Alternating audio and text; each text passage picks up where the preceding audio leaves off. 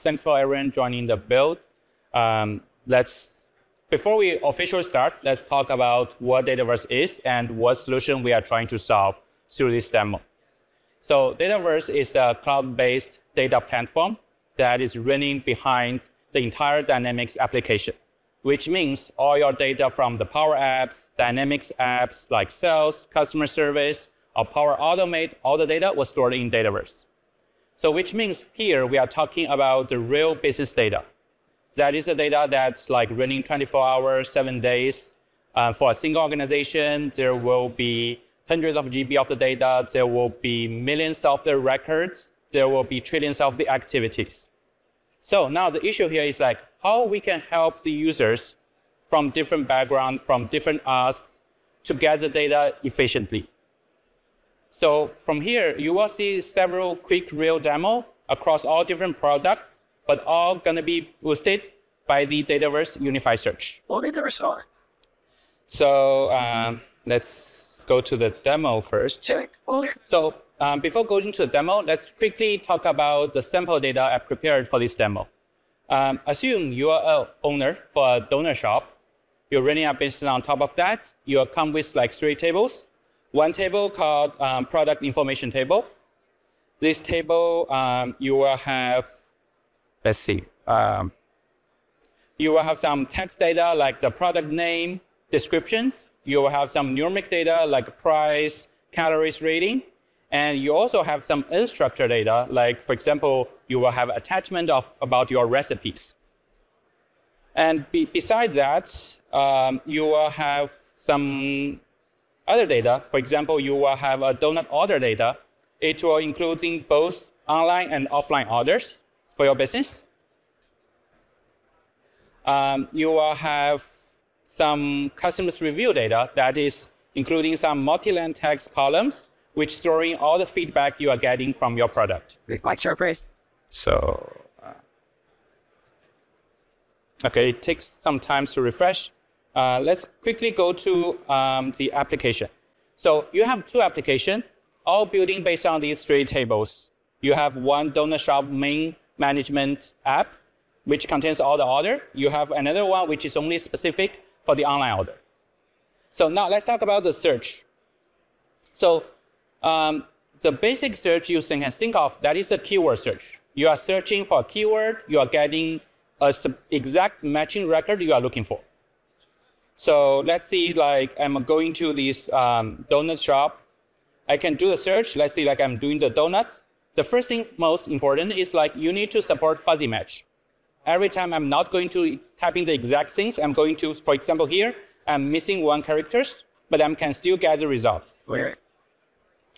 Um, but think of that. In a real business, when you're running a donut shop, you are typing, searching donuts what you're gonna get, you're gonna get millions of the records with donuts.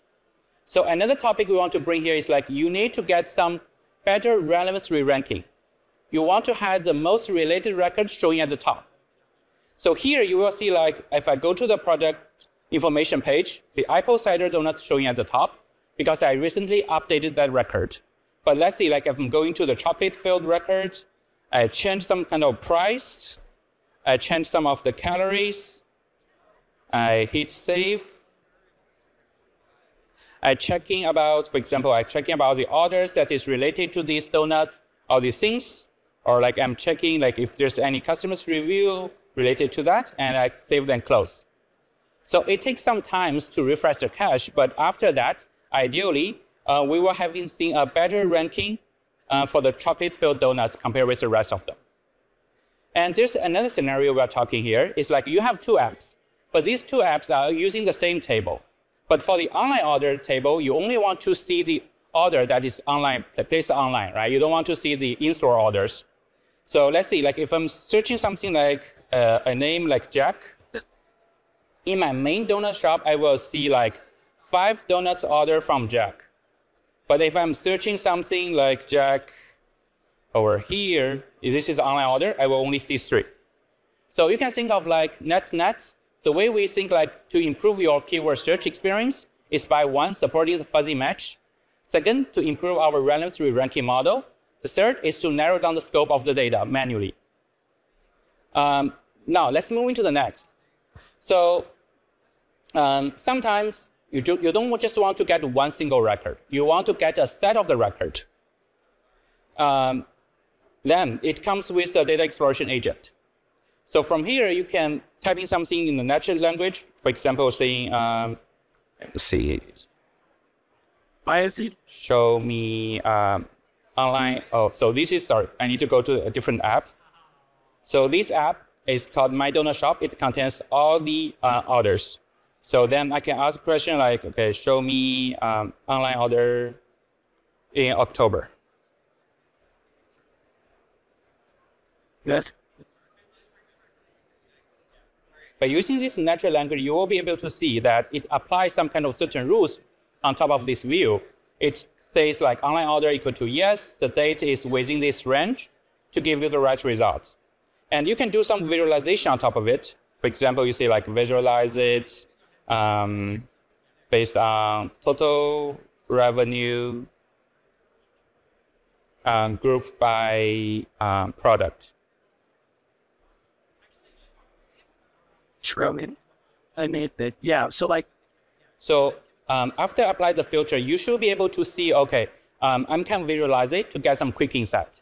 But let's see, if I want to see some distribution, I can just ask to like, uh, change to pie chart. oh no, it's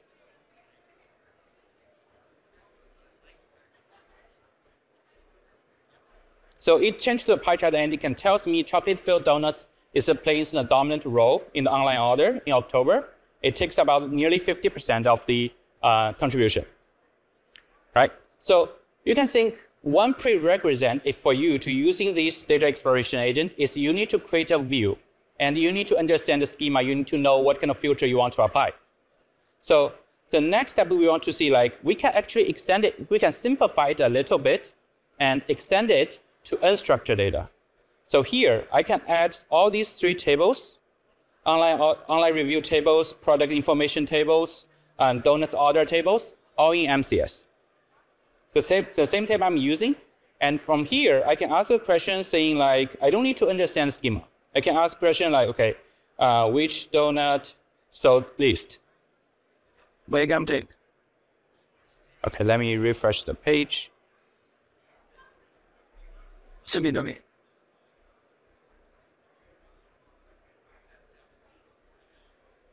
Oh, 30 cent.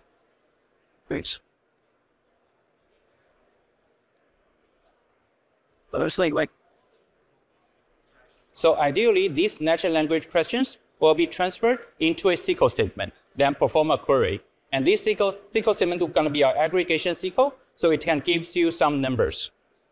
So let's see here. So it can detect that, okay, so Maple Bacon Donuts um, only sold like six units. So from there here, you do not need to understand the schema. You do not need to know the table. As a regular employee, you can just ask these type of questions. Now, think of another scenarios. I'm a new employee, joined the company. I want to get an instruction. Did you remember, like in the product information, we have an attachment called recipes, right? You can ask a question like, okay, what is the um, baking instruction for these donuts?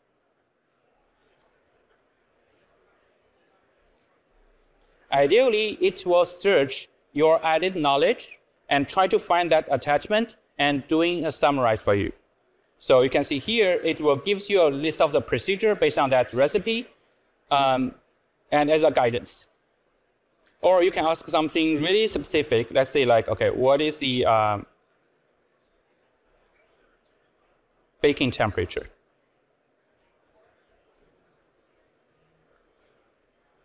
some, okay.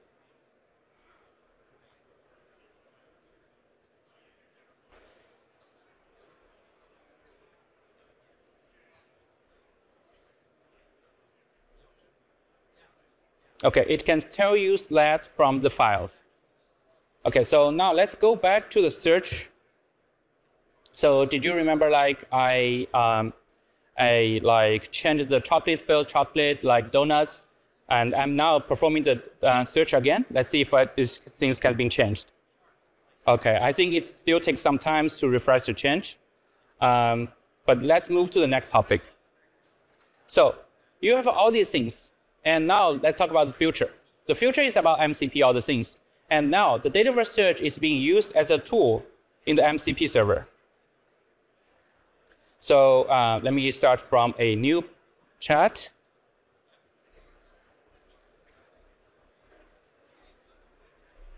From here, you will be see uh, in the Dataverse, we will provide a list of tool, and search is just one part, part of it, so that Claude can access your data.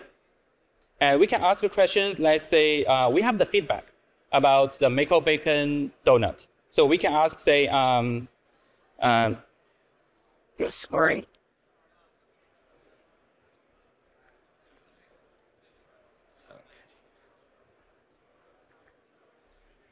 Shit.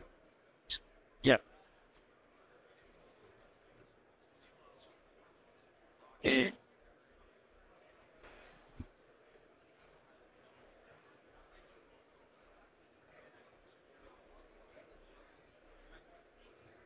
We can ask a question like super general questions.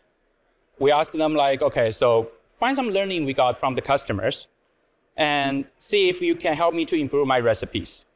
You can see he's listing a list of the knowledge that we have built in the, within the Dataverse, trying to retrieve some information. For example, you can see here, right, he's picking about this online customers review. So this is a right table to pick.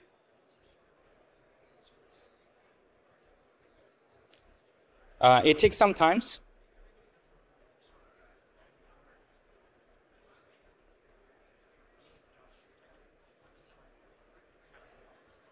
Yeah, it answered then. And I mean, you click split it. So you can see he's trying to explore all the data that we provided in the Dataverse to come with a report. Solution what? Uh, yeah, so yeah. So he's trying to summarize the feedback we got from the customers, and based on that, and also it provides all this kind of like product information, seeing all this information, and then based on that, it will provide some recommendation on how you're improving your recipes. So I think we have time to do another demo. So let's try another one, saying, mm, okay, I have online order and offline orders. So let's see if we can help us to prepare and compare these two orders, two type of orders, and give me some kind of insight on what is the next step I need to take for my business. Like,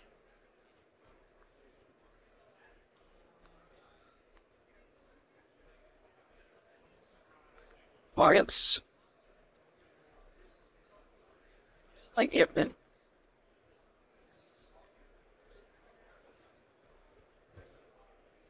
It's not like. Here.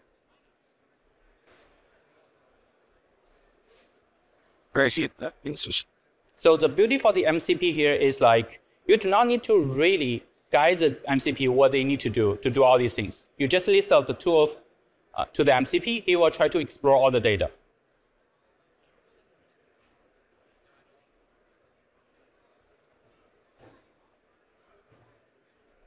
Uh, I know we're kind of running out of time, so uh, while it is running in the backend, let's quickly share about something um, interesting. First of all, uh, we are having a breakout session to talking about how Dataverse work with MCP.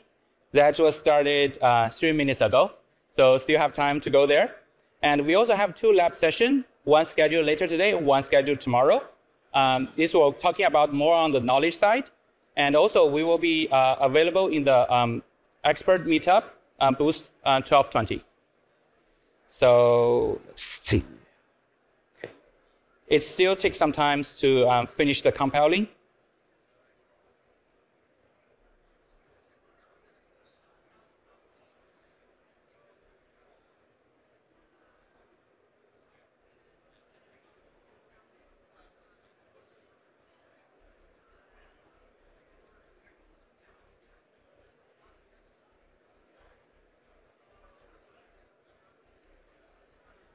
So it seems like it finished all the data retrieval. Now it is trying to analyze it by through the JavaScript.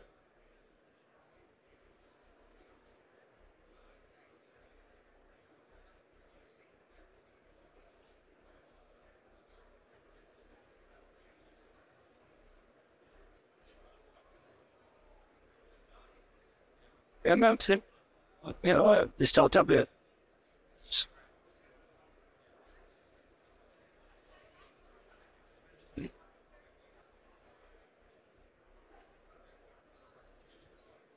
Okay, I think we are kind of running out of time, but I will be available at the booth. So for anyone who got interested, um, please join and come to see the result. Thank you.